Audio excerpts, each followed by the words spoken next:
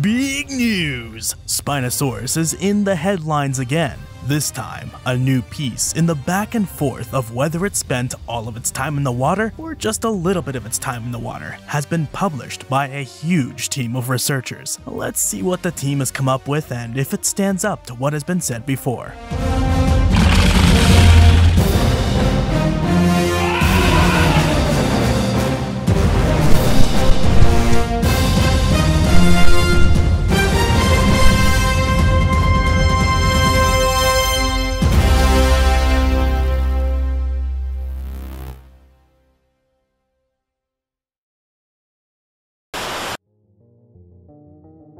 Since thorough descriptions of its most complete specimens were revealed in 2014, the hunting behaviors of Spinosaurus, the biggest known predatory dinosaur to walk the earth, have been the topic of heated scholarly discussion.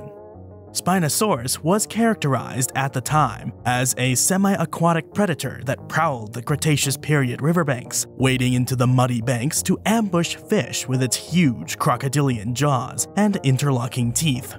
German paleontologist Ernst von Stromer revealed the discovery of the sinuous crocodile-esque jaws and partial bones of the gigantic sail-backed predator Spinosaurus from Egypt's western desert in 1915. Some more bones contributed to his early reconstruction of Spinosaurus as a sail-backed, piscivorous biped, which was reduced to atoms, ash, and floor wax by an Allied bombing raid in World War II. In the past 30 some odd years, additional skull and postcranial bones have been discovered in western Morocco in beds comparable to those found in Egypt. Among these discoveries was a fragmentary skeleton known as a neotype that enabled a more comprehensive reconstruction, seemingly validating the species' classification as a semi-aquatic piscivore. These recent finds have pushed Spinosaurus farther from the beach, with some experts speculating that it was well suited for following prey out of the shallows and hunting deep underwater. These claims are supported by recent fossils that show Spinosaurus possessed a fleshy paddle-like tail for swimming and thick bones to let it submerge underwater. However, new research by paleontologists from the University of Chicago and colleagues abroad dismisses this aquatic idea as implausible. They analyzed its ability to propel its massive bulk underwater using updated virtual reconstructions of its skeleton and body mass based on fossils and discovered that while Spinosaurus was a scourge of the shoreline with many adaptations for life at the edge of the water, it would fail as a fully aquatic, agile underwater predator. Based on oxygen isotopes in tooth enamel, the dental rosette likened to the jaws of a conger eel, the alleged elevated positioning of the orbits in the skull for visibility while largely submerged, the hypothetical underwater role of the dorsal sail, and the infilling of the medullary cavities of hind limbs, speculation has grown as skeletal information on the unusual predator has improved. At this point, I don't think you need that much background on Spinosaurus or the situation we are currently in about the animal, but I do have a fantastic playlist that is now quite thick in content you can check out to get caught up to date. I do need to get on more information about its original discovery and some older literature about the animal, but at this point I'm digressing. The Aquatic Hypothesis the recent finding of the Spinosaurus neotype's tall-spined tail bones has reignited the view of Spinosaurus as the first totally aquatic dinosaur, termed the aquatic hypothesis, which makes three main arguments. Spinosaurus, unlike any other non-theropod dinosaur, according to the hypothesis, A. On land, the animal reverted to a quadrupedal stance, as shown by a trunk-positioned center of mass, allegedly knuckle-walking with long-fingered, long-clawed forelimbs. B. Used an extended tail as a novel propulsor organ, or as a subaqueous forager in water to function as a proficient diving pursuit predator. C Fossils, like all large-bodied secondarily aquatic animals, would be found only in coastal or deep-water marine settings and would not be expected to be discovered in freshwater inland areas.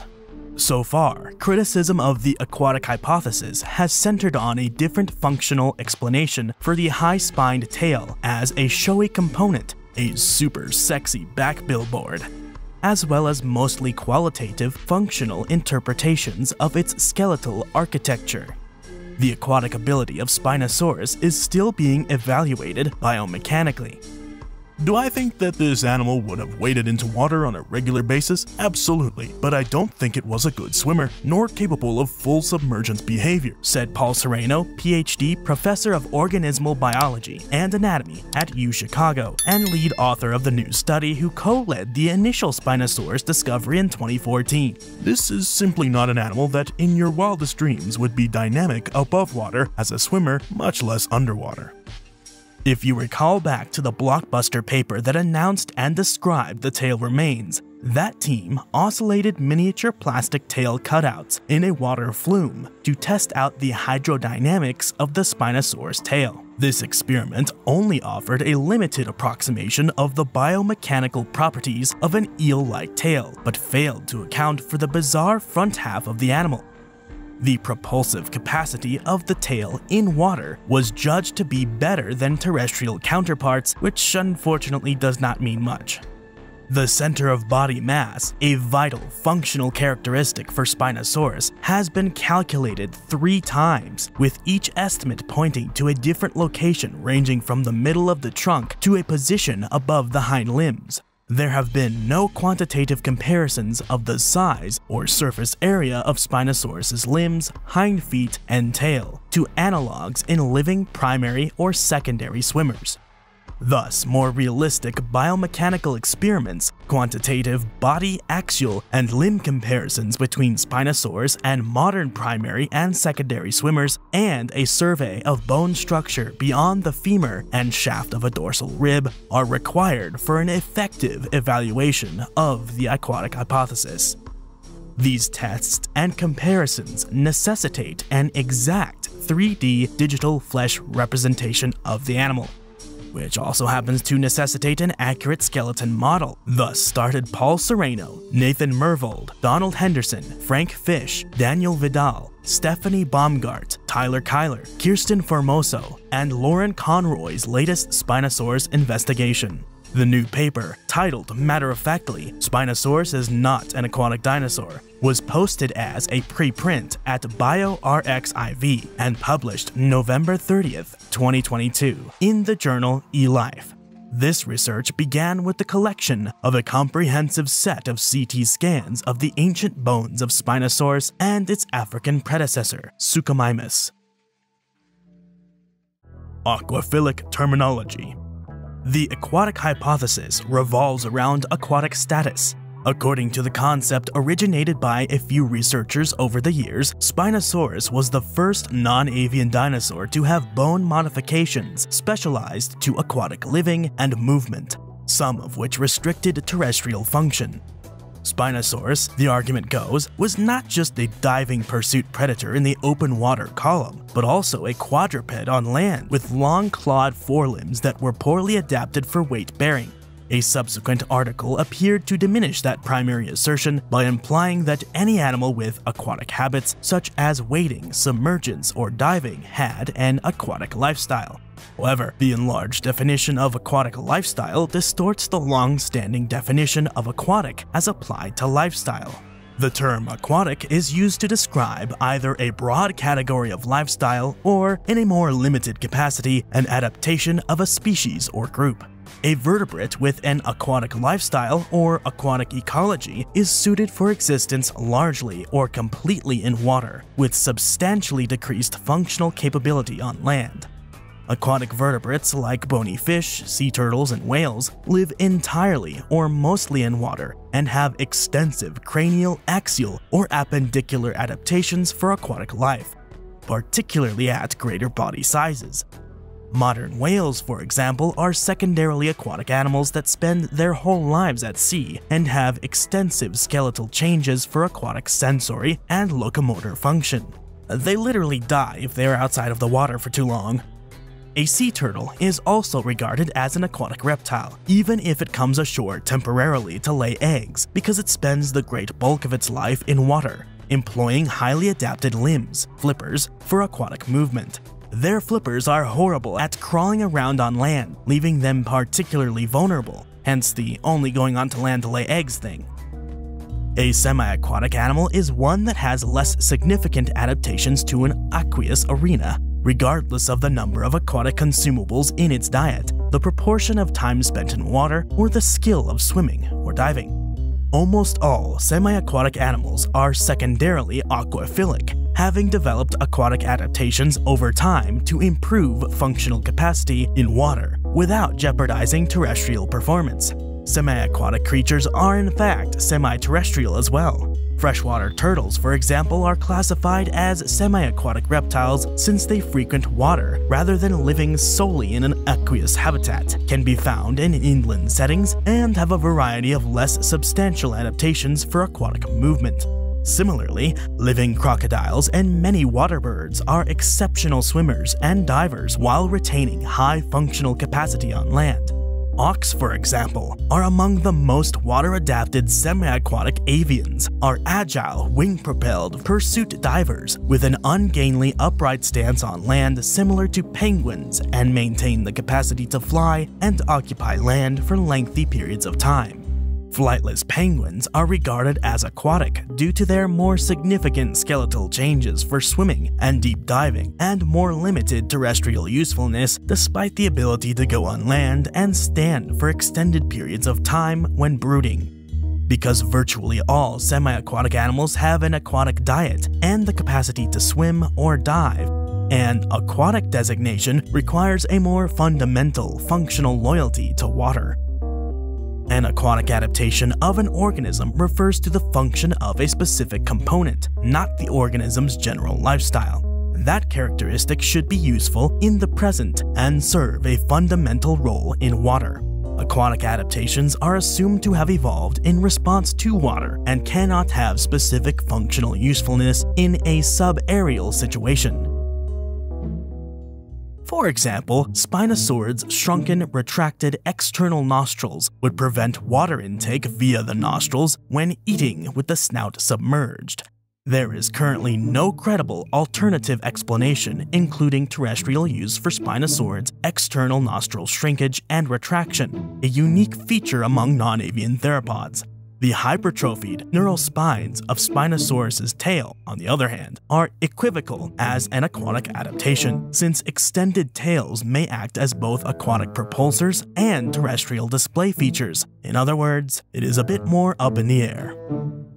To be considered an aquatic adaptation, the extended tail's anatomy and function must indisputably demonstrate main usefulness and capability in water as is the case with modern tail-powered primary or secondary aquatic vertebrates like newts, crocodilians, beavers, and otters. The same must be demonstrated or inferred in extinct secondarily aquatic animals, the new team did not discover such substantiating evidence to interpret the heightened tail in Spinosaurus or other Spinosaurids as an aquatic adaptation, using different comparative and biomechanical methodologies, corroborating similar results obtained recently by the 2021 paper of Dave Hone and Thomas Holtz. A new approach to investigate the aquatic hypothesis for Spinosaurus, the new team started with CT scans of Spinosaurid fossils from African sites to create high-resolution 3D skeleton reconstructions of Spinosaurus and its ancestor slash cousin, Suchomimus. Many vertebrae and long bones in both dinosaurs have extensive internal pneumatic or medullary space, which has implications for possible buoyancy. Pneumatic refers to air-filled pockets, while medullary refers to marrow-filled spaces. The CT-based 3D skeleton model of Spinosaurus differs dramatically in skeletal proportions from the 2D silhouette sketch utilized in the aquatic theory.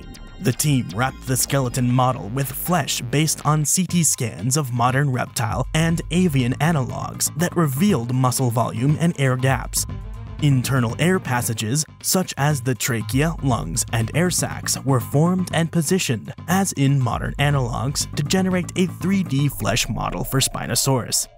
Depending on existing squamate, crocodilian, and avian circumstances, they developed three alternatives for internal air volume and allocated densities to body partitions based on local tissue types and air space. The surface area and volume of the flesh model, as well as its many bodily components, were computed. This integrated flesh model was posed in bipedal, hybrid, and axial powered stances, the latter two based on the swimming postures of modern semi-aquatic reptiles. The center of mass and center of buoyancy of Spinosaurus on land, the depth of water at the point of flotation, and the neutral position of the flesh model in deeper water were all estimated. The team assessed the maximum force production of an alligator's tail using biomechanical formulas and data from living alligators, which was then utilized to compute maximum swimming velocity at the surface and underwater. The team also assessed its aquatic stability, maneuverability, and diving capacity, comparing all of these functional characteristics to existing large-bodied aquatic animals. The team then examined the anatomy and function of comparable spine-supported sails over the trunk and tail in lizards, as well as the shape of tail vertebrae in tail-powered secondary swimmers. They also looked at the relative size, or surface area, of appendages in a variety of secondary swimmers, as well as the surface area of crocodilians' foot paddles and tail scale. Finally, they looked at the Spinosaurid fossil record to see where Spinosaurid fossils had been discovered, and examined the range to see if Spinosaurids, especially Spinosaurus, were constrained to coastal marine settings like all big secondarily aquatic species. They reconstructed the Spinosaurid phylogeny to identify significant stages in the evolution of Spinosaurid piscivorous adaptations and sail structures, adding additional Spinosaur specimens from Niger. Results The adult Spinosaurus skeleton reconstruction produced by the researchers is slightly under 14 meters 45 feet in length, which is more than 1 meter shorter than originally reported by past researchers. When compared to the 2D graphical reconstruction of the aquatic hypothesis, significant variations are visible. The length of the presacral or before the pelvis vertebral column, rib cage depth, and forelimb length in that reconstruction were overstated by 10%, 25%, and 30% respectively, compared to dimensions based on CT scanned fossils here in this new study. All of these proportional overestimations, heavier neck, trunk, forelimb, move the center of mass forward when translated to a flesh model. Spinosaurus's hind limb long bones, the femur, tibia, fibula, metatarsals, lack the medullary cavity found in other dinosaurs, particularly theropods. Spinosaurus's infilled hind leg bones were formerly thought to be ballast for swimming. Not so, according to the new study. They found that the infilled state is varied, as seen by the shallow medullary cavity in a femur of a somewhat bigger individual than the neotype, which was the one found in Morocco with the tail. Furthermore, the bone infilling is fibrolamellar and cancellous, similar to that of other large-bodied terrestrial dinosaurs and mammals with infilled medullary cavities. Dense pachyostotic bone, on the other hand, makes up the solid and occasionally enlarged bones of many secondarily aquatic animals that utilize increased skeletal density as ballast. Pachyostotic bones are those that are extra thick on the inside. The reduction of internal air-filled voids in the bone is called osteosclerosis, and this can co-occur with pachyostosis in aquatic animals. Medullary space, or the hollows that hold the bone marrow, may be seen in the majority of Spinosaurus and Suchomimus forelimb bones. A huge medullary cavity occupies the center of the first half of the tail vertebrae, while extensive air-filled pneumatic spaces exist in the center and neural arches of the neck vertebrae. Spinosaurus's less dense, internal, marrow and air-filled voids more than compensated for the additional density of infilled medullary space in the comparably decreased hind leg long bones. Hind limb bone infilling is better described as compensation for the smaller size of the hind limb long bones, which must sustain theropod body masses at the higher end of their range. When the medullary cavity is filled, bending strength improves by up to 35%. In other words, they had short stubby hind legs and needed extra thick and chunky bones in those legs to compensate for their shortcomings.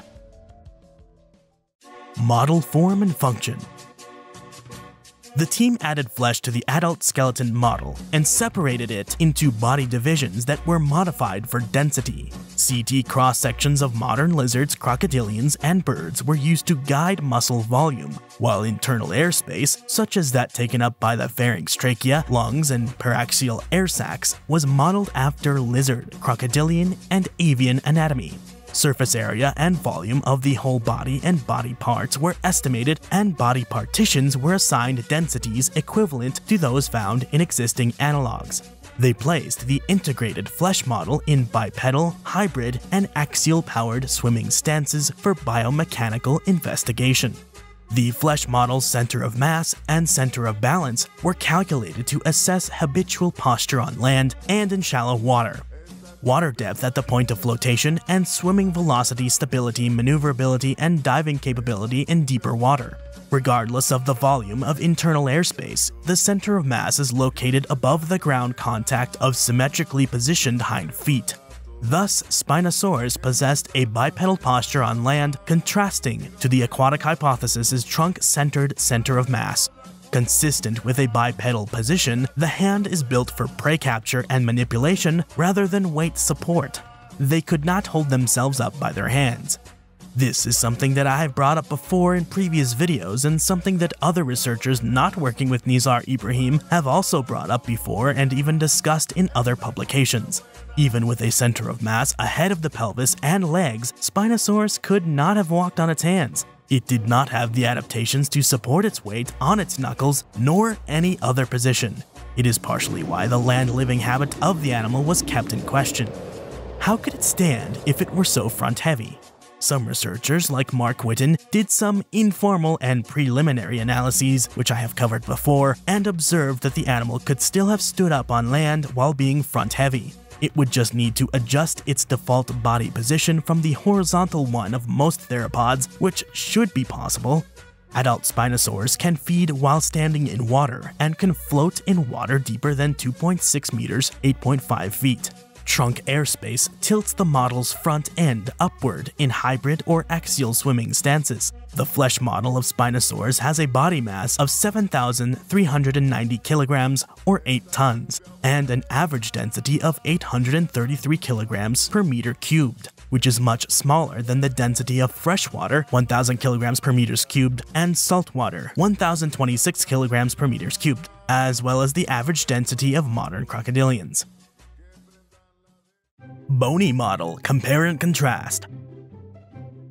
The team compared their Spinosaurus digital skeleton model to a previously published 2D silhouette skeletal reconstruction from the Aquatic Hypothesis paper by Ibrahim and colleagues, both of which are based mostly on fossils from the incinerated holotype and the confusing Moroccan neotype. The Sereno team recorded the reconstructions by superimposing the neotype's four longest intact bones, the femur, tibia, ilium, and ischium. Significant discrepancies are visible in various aspects with significant consequences for calculating center of balance and mass.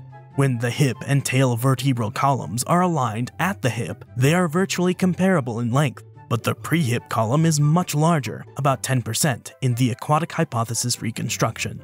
The additional pre-hip vertebral column length is seen in the neck between vertebrae C2 to 10 and the torso between vertebrae D4 to 13, as can be observed by matching the skeletons along the dorsal column. The trunk in the digital skeletal model is not as deep as that in the skeletal silhouette illustration. Unlike the digital reconstruction and most previous silhouette reconstructions for non-avian theropods, the contour of the belly indicated by the gastral basket and the coracoids of the pectoral girdle extends about 25% more bellyward or ventrally than the ends of the pubes. The model's ribcage length is commensurate with the sole well-preserved spinosaurid ribcage known to date, which happens to be from old snooty face Suchomimus. Finally, the skeleton silhouette drawing's forelimb is 30% longer than the digital reconstructions. The Moroccan neotype is the only related Spinosaurus specimen that has forelimb bones preserved. In this case, a partial manual digit 2, a fingy. The preserved hand fingies are thin with deeply cleft distal condyles, allowing them to be compared to other phalanges from the Kem Kem group. Condyles are the knuckles of finger and toe bones, and cleft just refers to the split in the surfaces that articulate with one another. The reconstruction of the hand in the new digital model is based on a forelimb of the close cousin irritator that was recently described. The proportions of the more proximal, which if you recall means closer to the body, forelimb segments, and the pectoral girdle are based on the original holotype specimens of Baryonyx and Suchomimus. Spinosaurus's forelimb is strong and long in comparison to other non-avian theropods, albeit significantly shorter than in prior reconstructions. The longer pre-hip proportions, deeper torso, and longer forelimb of the skeletal reconstruction and flesh model used by the aquatic hypothesis show significant additional body mass before the hip joint. That increased front loading appears to be the primary determinant in the center of mass's mid-trunk position, which is the basis for considering Spinosaurus as a quadruped on land. Flesh reconstruction of axial musculature the Sereno team used CT-based research on ostriches and alligators to determine the amount of axial musculature in Spinosaurus. To get to the bottom of tail muscle mass, the team used CT images of several reptiles, including the sail-backed basilisk lizard Basiliscus plumifrons. There are two types of muscles in the trunk of adult vertebrate animals. This is the cross-section of the trunk of an animal. Those white lines are septum, and they separate blocks of muscles. The hypaxial muscles are those on the bottom or ventral side of the trunk. The epaxial muscles are therefore those blocks on top or on the dorsal side of the trunk. For those that are curious, hypaxial muscles include some vertebral muscles, the diaphragm, the abdominal muscles, and all limb muscles, while epaxial muscles include muscles associated with the vertebrae, ribs, and base of the skull. These had to be estimated for the fleshed out digital Spinosaur model. All of the stuff I'm going to talk to you about next can be observed in this diagram, figure 10 in the paper. Each of those cross sections were estimated based off known musculature in modern animals, those that are known in extinct animals, the size of the bones, and some math. The Sereno team calculated the vertical extent of epaxial muscle mass in Spinosaurus as double the centrum height, measured upward from the base of the neural spine. The transverse breadth of epaxial musculature was calculated to be somewhat smaller than that of hypaxial muscles, broadest ventrally and decreasing dorsally to the midline. The team assessed the vertical depth of Spinosaurus hypaxial muscle mass to be roughly twice the chevron length in the front of the tail and one and a half times the chevron length in the middle and end of the tail. The transverse breadth of hypaxial muscles was determined to be double the length of the transverse processes, which are those bony bits of the vertebrae that stick out to the sides. CT cross sections of modern reptiles reveal significant muscle mass in the back parts of the tail vertebrae bones that stick out to the side, those processes, in the front and middle sections of the tail.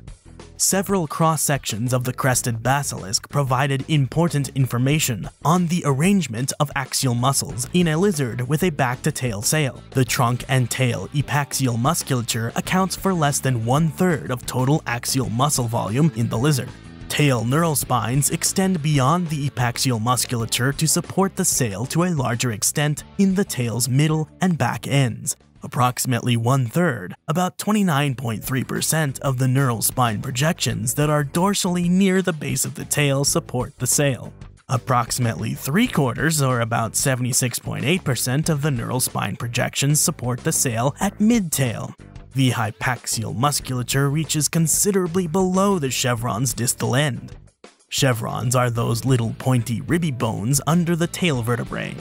The chevron sits internal to roughly one half 52.6% of hypaxial muscle depth at the base of the tail, with the remaining 47.4% distal to the end of the chevron.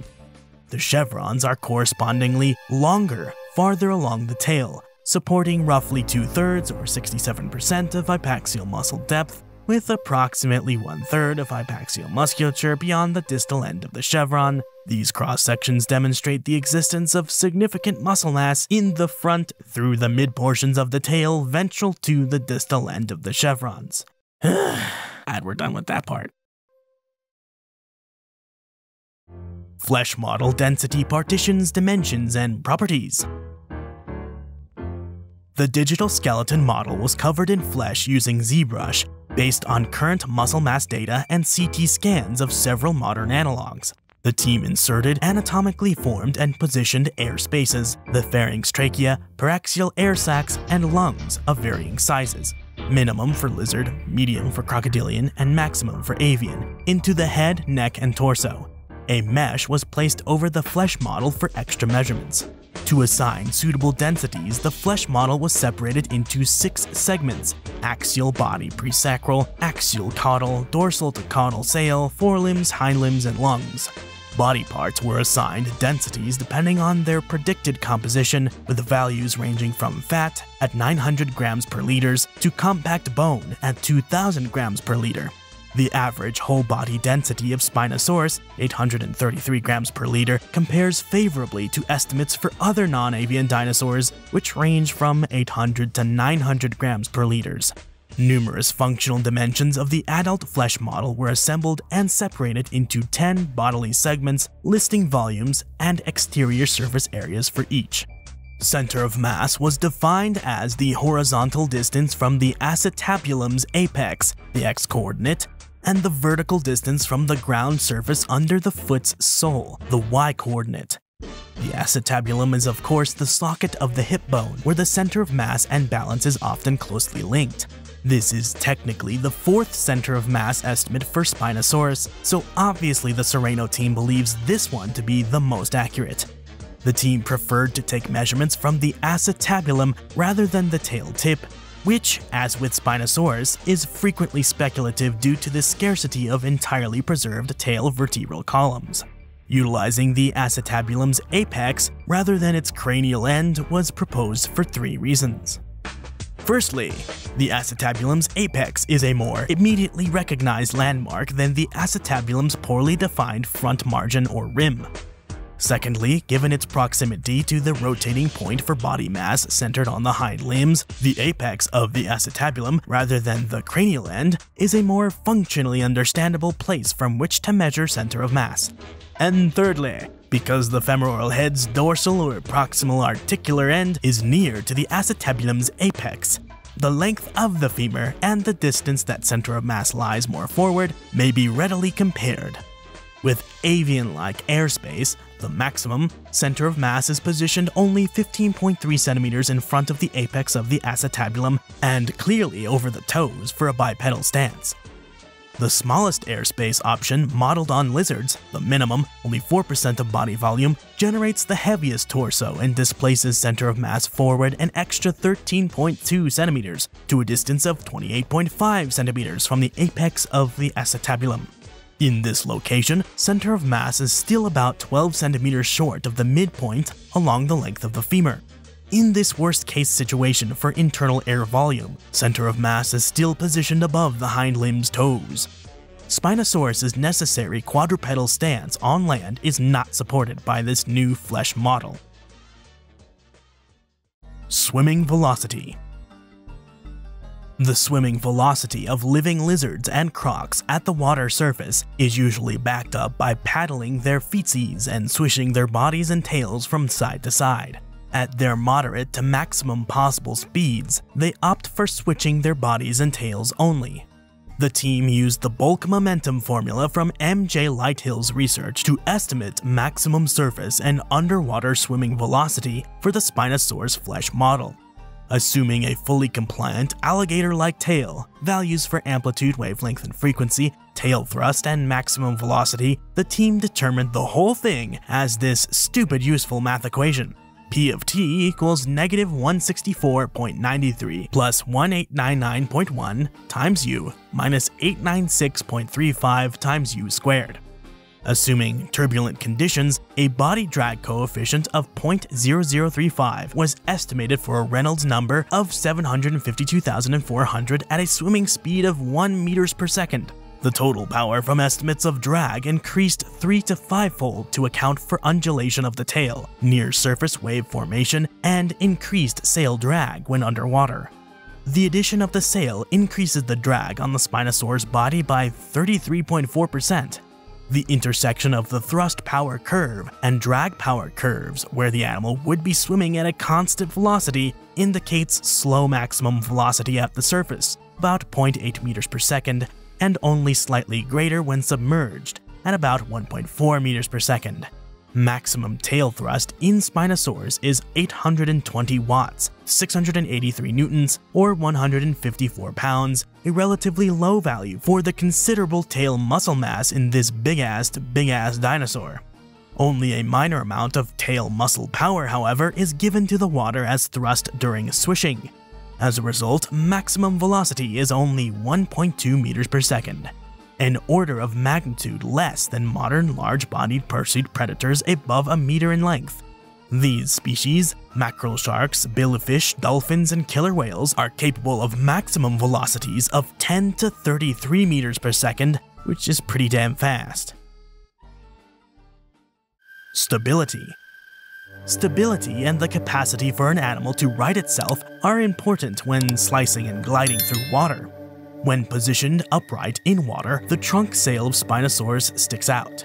The flesh model, however, is particularly susceptible to long axis rotation given the proximity of the center of mass and balance with stable equilibrium attained when floating on its side, providing the scientific community with one of the best scientific diagrams that look like shitposts to come out of the academic paleontology community. It's okay, I sleep. I sleep here. Riding the body requires substantial torque, about 5,000 newton meters, that is impossible to generate with vertical limbs and a tail with far less maximum force output, about 700 newtons.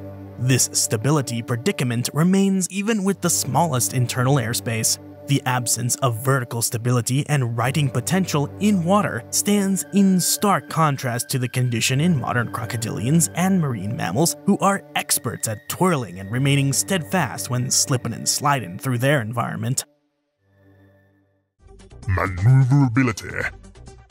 Water maneuverability, the unappealing and unsexy combination of acceleration, turning radius, and speed, decreases with body length, which is exacerbated in Spinosaurus by its inflexible trunk and expansive, unretractable sail. Larger bodied secondary swimmers capable of pursuing prey in open water, on the other hand, have fusiform body forms with a narrow tail peduncle for efficient tail propulsion, like the ichthyosaurs and whales, have control surfaces for reorientation, and narrow extensions like bills to increase velocity in close encounters with smaller, more maneuverable prey. Semi-aquatic pursuit predators are uncommon, with only the small-bodied, very agile otters that use undulatory swimming. Axial compare and contrast Axial flexibility is required for primary or secondary swimmers to use axial propulsion, the torso and pelvic vertebrae of Spinosaurus, on the other hand, are immobilized by interlocking articulations, an expansive, inflexible dorsal sail formed of closely spaced neural spines and united centers of pelvic vertebrae. Spinosaurus's tail neural spines reinforce a bone-supported tail sail by forming an echelon of neural spines that bridge many vertebral segments and efficiently resist bending at vertebral joints. It's not very bendy, the centers of Spinosaurus's tail vertebrae had fairly consistent subquadrate proportions along the bulk of the tail in lateral view, as opposed to crocodilians and other secondarily aquatic squamates narrowing spool-shaped centra, which promotes distal flexibility during tail undulation. These prominent structural elements of the tail imply that it served as a pliant billboard rather than a flexible fluke. No primary or secondary vertebrate swimmer, including sailfish, has a comparable drag magnifying inflexible dorsal sail, despite the fact that the dorsal fin is entirely retractable and formed of elastic spines in membrane. Secondary swimmers, such as crocodilians, mosasaurs, and whales, on the other hand, have elastic soft tissues free of bone that extend to form a flexible tail paddle or fluke, Spine-supported torso-to-tail sails aligned with median head crests, on the other hand, have evolved many times in modern lizards for intraspecific display rather than aquatic propulsion, as seen in the agamids, iguanians, and chameleons. Semi-aquatic sailfin and basilisk lizards, for example, do not swim with their sails, spend little time submerged, and are not aquatic pursuit predators. In fact, they run across the water, I don't exactly see an 8-ton predator doing that. As previously stated, most secondary swimmers' center tail vertebrae proportions grade from subquadrate, meaning a rounded square, to spool-shaped in the last half of the tail to promote flexibility and undulatory amplitude. But Spinosaurus maintains rather constant proportions along the tail. This subquadrate proportional uniformity in Spinosaurus should not be mistaken with a more developed fish-like pattern of uniform, short, disc-shaped centra that evolved in parallel in mosasaurs. Appendicular compare and contrast Secondary swimmers have a lower surface area of their appendages, the fore and hind limbs specifically, to reduce drag as terrestrially adapted limbs are ineffective at doing the schwimmy swims. Spinosaurus appendage surface area, on the other hand, is far bigger than that of reptilian and mammalian secondary swimmers and even exceeds that of terrestrial predators Allosaurus and Tyrannosaurus. That means that the well-known terrestrial Allosaurus and Tyrannosaurus had limbs that could help them swim better than Spinosaurus. Some secondary swimmers employ interdigital webbing to enhance the area of the foot paddle. They have webbed feetsies, Modern crocodilians paddle with their limbs really only upon launch and at a slow speed before tucking them against the body and swishing about. Crocodilian toe webbing, which is more developed and always present in the hind foot, increases surface area only a bit, about 20%. The research team showed that crocodilian foot paddle area scales isometrically across a wide range of body sizes. As a result, as body size increases, the crocodilian foot paddle becomes less efficient for propelling the beast. Nonetheless, a crocodilian of Spinosaurid size would have a foot paddle area an order of magnitude bigger than Spinosaurus. Even a completely webbed hindfoot in Spinosaurus, which no clear evidence supports, is considerably too tiny to have functioned for considerable water propulsion or stabilizing control, kind of killing the Duckosaurus concept here paleohabitats, and evolution. The majority of Spinosaurus fossils are found in northern African peripheral basins in deltaic silt put down after an early late Cretaceous transgression. However, these deposits also contain the majority of non-Spinosaur dinosaur bones, which may have been transferred to some extent from interior environments to coastal delta dumps. Because fossil transfer is one way, downstream, determining genuine habitat range requires recording the inland fossil record as well.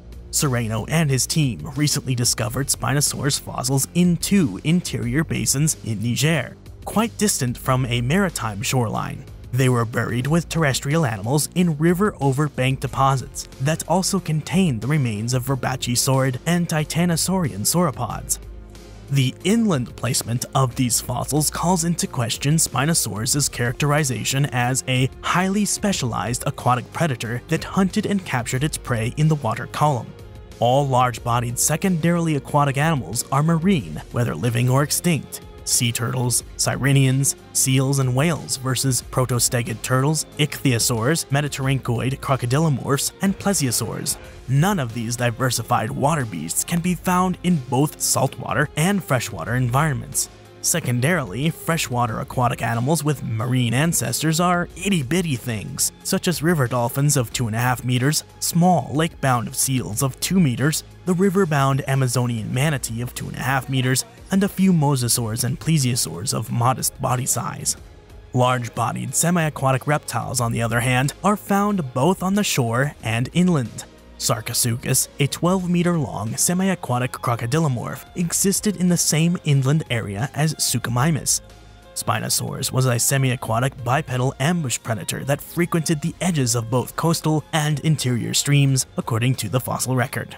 The large body size of Spinosaurus and older similar forms, such as Suchomimus, further mitigates against an aquatic interpretation for the former, as it would be the sole occurrence in vertebrates of the emergence of a secondarily aquatic animal with a body size more than 2 to 3 meters. These substantial adaptations needed to fully re-enter the aquatic environment after a land-based existence appear to be more common at smaller body sizes. All other large-bodied secondarily aquatic vertebrates, like the ichthyosaurs, plesiosaurs, metriorhynchoid crocodilomorphs, protostegid turtles, mosasaurs, sirenians, and whales, evolved the adaptations needed for an aquatic lifestyle at a small body size, gradually increasing in size once fully established within the marine realm. The rejection of the aquatic status of Spinosaurus by Sereno and his team does not exclude the semi-aquatic habits or fish-eating affinities of the animal, the team performed a phylogenetic analysis for Spinosaurus to get another understanding of its evolution over time. The examination, which included a large dataset of spinosaurids, reveals piscivorous or fish-eating adaptations in the earliest spinosaurids of 130 million years ago that improve prey acquisition in shallow water and heighten visual display features. The skull is decorated by an elongated snout topped with a dental rosette of pike-like teeth for snaring fish, retracted external nostrils to avoid water intake, and a high nasal crest.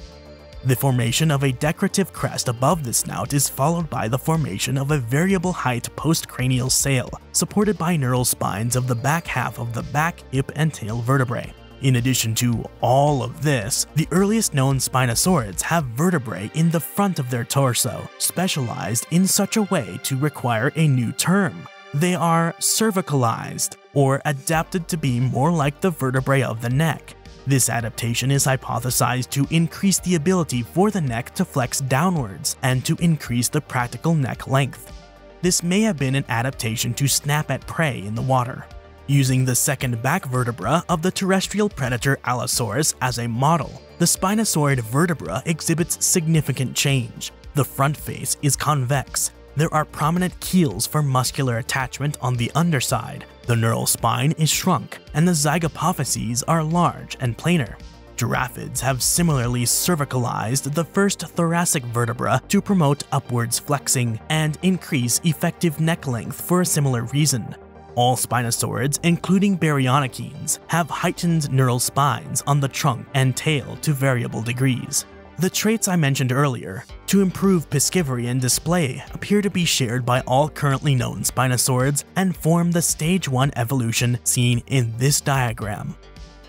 The baryonychine spinosaurs, like Suchomimus, Baryonyx, and Ceratosuchops, were fancy. They had nasal crests and brow ridges for display and telling each other apart.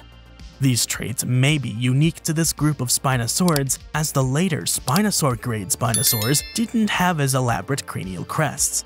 Spinosaurines have spaced out smooth teeth for efficient puncturing, smaller, more retracted external nostrils to avoid water intake, more prominent muscle attachments on the underside of the neck and back vertebrae for lunging downwards, and scythe-shaped hand claws for slicing, all of which are piscivorous adaptations a heightened cranial crest, a low neck sail, and an extreme torso to tail sail are all adaptations for greater display.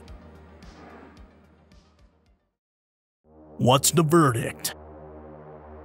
Goodall and Stromer noted the unique adaptations in Spinosaurus jaws and neural spines for piscivory and flamboyant display, respectively, in 1915, identifying modern analogs for both nothing remotely resembling this feature had ever been documented in non-avian dinosaurs. More recently, a group of researchers have gone even farther, aiming to understand how this enormous predatory dinosaur interacted with coastal waterways. All have been hampered by the specimen's fragmentary nature, as all of Stromer's Egyptian fossils were lost during World War II. Indeed, the discovery of a fresh partial skeleton from Morocco, as well as its tail six years later, sparked hypotheses for semi-aquatic and aquatic interpretations. unlike Deinocheirus, whose mystery was more or less entirely solved in one fell swoop, with two relatively complete skeletons completely overlapping the original material, Spinosaurus remains elusive and more tantalizing than ever. The Spinosaurus tail's ostensibly eel-like appearance, considered a new propulsor organ, inspired the aquatic hypothesis, which saw Spinosaurus as a tail-propelled diving predator that chased and captured its prey in the water column. In contrast, as would be expected of a secondarily aquatic reptile, its terrestrial skills were viewed as severely hampered by a trunk-positioned center of body mass that would require a quadrupedal stance on land, and the employment of long-clawed forelimbs not adapted for weight bearing, a 2022 paper by Matteo Fabbri and colleagues, which I covered here, employed bone compactness to suggest Spinosaurus was a subaqueous forager with diving credentials, which was presented as support for the aquatic hypothesis. The aquatic hypothesis, however, demands considerably more than demonstrating that its tail was a powerful source of propulsion or that its bones were slightly more compact. To determine that Spinosaurus was an aquatic diver and predator, Sereno and colleagues posit one must also comprehend its buoyancy, stability, velocity, maneuverability, and diving capability in water. These calculations require a correct flesh rendering, which is created on top of an accurate bone model. Something I should add that is kind of iffy by default. Even the more recent Moroccan Spinosaurus skeleton is not complete, and also cannot be reliably identified as belonging to the Spinosaurus aegyptiacus species. There is a whole complex of Spinosaurus species and related genera across North Africa that are all extremely fragmentary and differ in minute ways.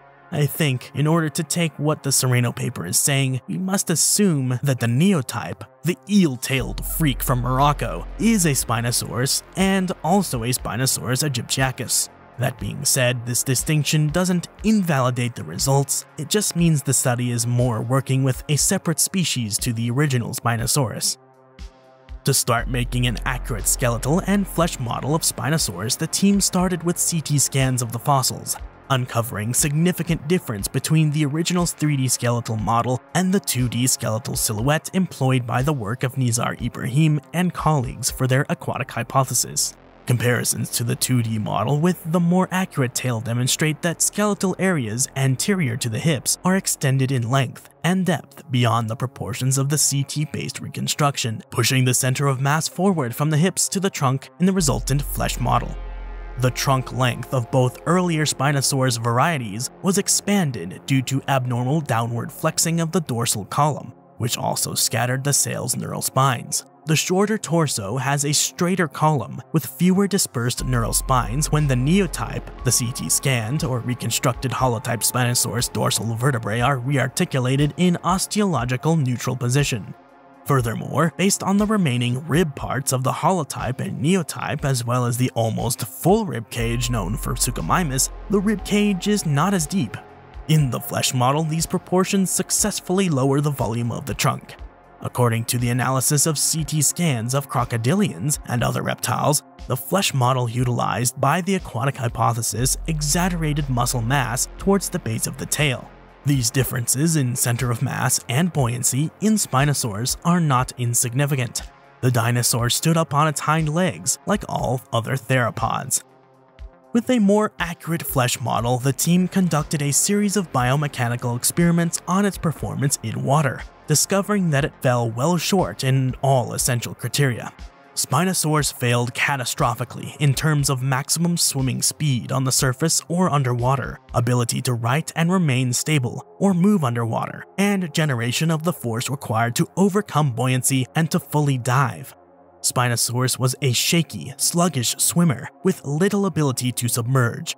These are significant biomechanical obstacles that the aquatic hypothesis must overcome. The team considered other comparative methods to test the aquatic hypothesis, such as plotting Spinosaurus against various living and extinct secondarily aquatic amniotes to consider appendage area, the size of crocodilians' foot and tail paddles, tail structure, and the habitats occupied by large-bodied secondarily aquatic vertebrates. Spinosaurus fails all of these comparable criteria as well, because it is similar to other theropod dinosaurs in terms of limb size, other reptiles that employ midline sails for show, and semi-aquatic reptiles in terms of the diversity of coastal and inland environments populated. Although more Spinosaurus and Spinosaurid fossils will undoubtedly be discovered, the overall skeleton, proportions, and shape of Spinosaurus are well established. Many subtle issues about the anatomy and function of this fascinating group of predators will undoubtedly continue to spark debate. As a result, the aquatic hypothesis is unlikely to persist as a realistic lifestyle explanation. So, what is our understanding of Spinosaurus' lifestyle? Spinosaurus, according to the Sereno team's research and that of Dave Hone and Thomas Holtz's 2021 study, is a bipedal, semi-aquatic dinosaur that hunted giant fish in ambush while wading into shallow coastal and riverine waters. This study yielded 13 major results, all of which may be tested. Number 1. Adult Spinosaurus had a body length of under 14 meters with the axial column in neutral position. Number 2. Reduced hind limb long bones in the Moroccan neotype skeleton are infilled, likely as an adaptation to support weight on land, rather than functioning as ballast to increased density in water. Number 3. The segment crossing tail neural spines in Spinosaurus suggest that its tail functioned more as a pliant billboard than flexible fluke. Number 4. Spinosaurus, like Suchomimus and other Spinosaurids, was bipedal on land with its center of mass positioned over its hind feet. The long clawed forelimbs of Spinosaurus were not used in weight support on land. Number 5. Spinosaurus could wade into shallow water for feeding with flotation occurring at water depths greater than about 2.6 meters. Number 6. An adult flesh model of Spinosaurus has a body mass of about 7,400 kilograms and average density of about 830 kilograms per meters cubed, which is considerably less than the density of salt water, which is about 1,026 kilograms per meters cubed. Number 7. Spinosaurus was incapable of diving given its buoyancy and incompressible trunk, Full submergence would require 15 to 25 times the maximum force output of its tail, depending on estimated lung volume. Number 8. Spinosaurus was unstable in deeper water with little ability to right itself, swim, or maneuver underwater. Maximum power from its tail, assuming it could undulate as in alligators, is less than 700 newtons, which would generate a top speed of about 1 meters per second, an order of magnitude slower than living large-bodied pursuit predators. Number 9. All living and extinct, large-bodied, above 2 meters long, secondarily aquatic vertebrates are strictly marine, whereas fossils pertaining to Spinosaurus have been found in inland basins distant from a marine coast.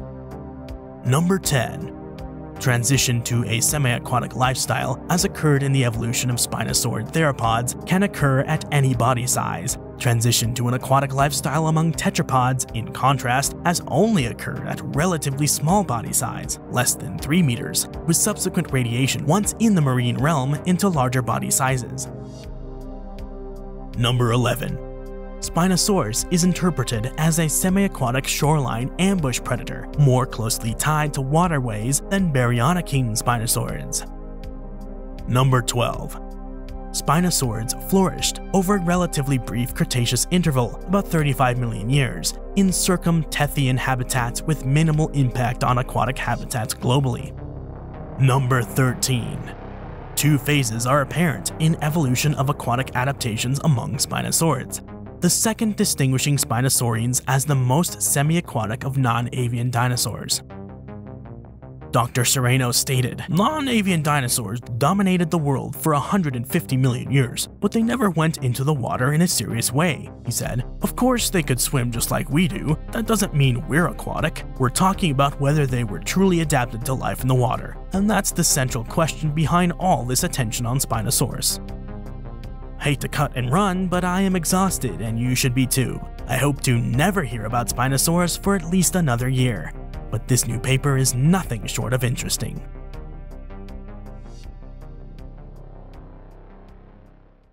For more interesting stories about nature, the history of life, or what goes bump in the night, subscribe, hit the bell icon for updates, like this video, and drop a comment in the comment section below. Thanks for watching.